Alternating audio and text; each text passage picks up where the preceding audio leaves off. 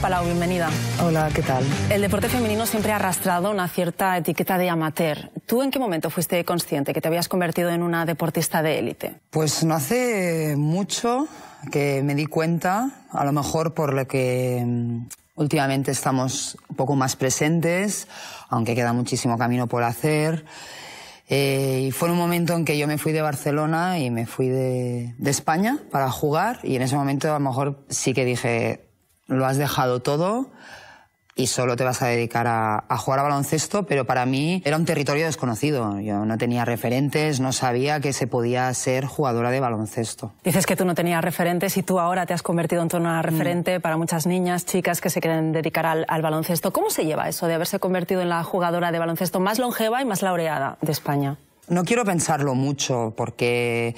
Eh, a mí me van sucediendo un poco las cosas, ¿no? Yo no tenía este plan inicial, ni lo sigo teniendo ahora de seguir yendo con la selección o el oro que hemos ganado este verano. Son cosas que me van sucediendo un poco por, eh, por resistencia. A mí me sorprende mucho que haya chicas eh, jóvenes que quieran ser como yo más que porque pienso, podría ser vuestra madre, ¿sabes?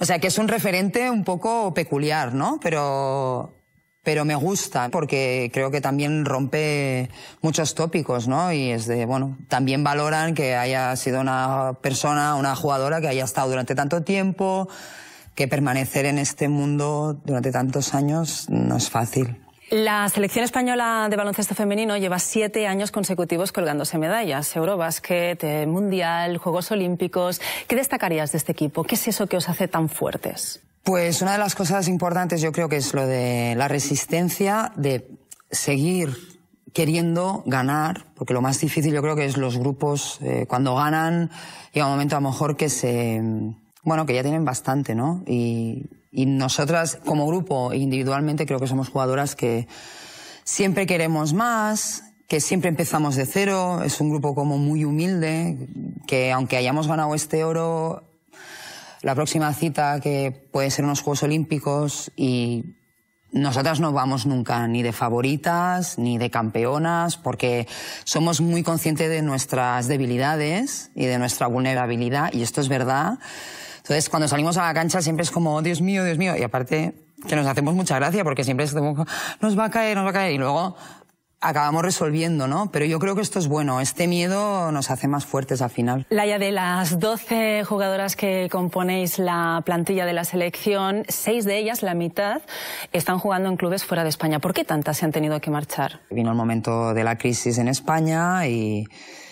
Y bueno, es que todo funciona así, ¿no? Según el dinero. Y está claro que invertir en deporte femenino, en baloncesto femenino, pues a lo mejor no es una prioridad también porque creo que es un producto que no ha estado nunca bien tratado, con lo cual no se le ha podido sacar el rendimiento que, a lo mejor se merece. Entonces, en ese momento en que no había eh, de sobras, pues bueno, se cerraron clubs y la liga bajó muchísimo y las jugadoras que estábamos a primer nivel tuvimos que salir a Europa a buscarnos la vida en, en clubes que nos ofrecieran, no dinero, pero eh, buenos proyectos deportivos. Laia Palau, como capitana de la selección femenina de baloncesto, ¿cobra lo mismo que Rudy Fernández como capitán de la selección masculina? Esto sí, hemos equiparado eh, salarios, cosa que es bastante interesante porque Obviamente los salarios de los chicos en su vida normal, en sus clubes, eh, no tienen nada que ver proporcional con, la, el nuestro, pero en la,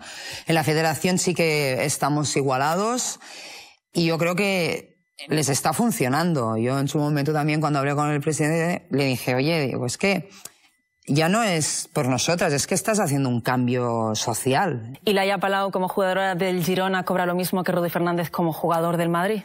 Pues no, yo creo que mm, debe ser pues unas 30 veces más debe cobrar él. ¿30 veces más lo que cobra Rudy? Sí.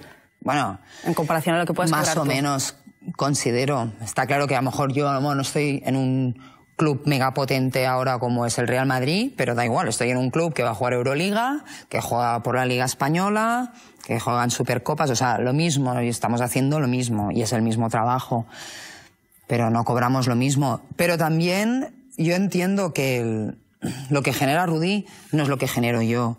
Pero también es verdad que tampoco no sabemos eh, cuánto generaríamos si al final vosotros sois los que decidís qué es lo importante. Entonces, si la gente nos pone allí y dicen que eh, es importante, y mira, pues esta chica hace esto, y se valora el deporte no por el glamour que pueda generar el deporte, sino por el esfuerzo o los límites que está esa deportista en concreto eh, rebasando, pues yo creo que el baremo para todos sería el mismo. ¿Has visto mucha gente con la camiseta de la Palau? No.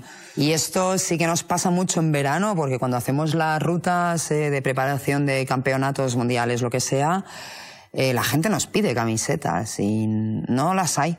O sea, no hay camisetas de España con eh, Alba Torrens, con Marta Chargay, con Laia Palau. Si tú ahora vas a comprar la tienda, no existe. No existe. Tienes que pedirla expresamente. No está serigrafiada, ¿no? Nos estamos acostumbrando a los éxitos del deporte femenino y de hecho a día de hoy cada vez es más habitual ver canchas de baloncesto, campos de fútbol llenos de aficionados y aficionadas que quieren ver a las chicas competir. ¿Qué ha pasado para que esto sea posible? Primero lo tengo muy claro, es que nosotros no hemos dejado de ganar. ¿Vale? Porque sin eh, los éxitos que hemos tenido, no hubiésemos salido en portadas, ni hubiésemos acaparado un cierto, bueno, pues eh, las miradas, ¿no? O sea, tiene mucho valor lo que hacemos, porque ganar siempre es muy complicado. Tienen que posar por el deporte femenino, si es que con, con poco la base la tienen puesta. Yo voy a hacer el mismo trabajo independientemente de lo que me vayan a pagar, de si voy a salir por la tele, de si va a ser importante o no.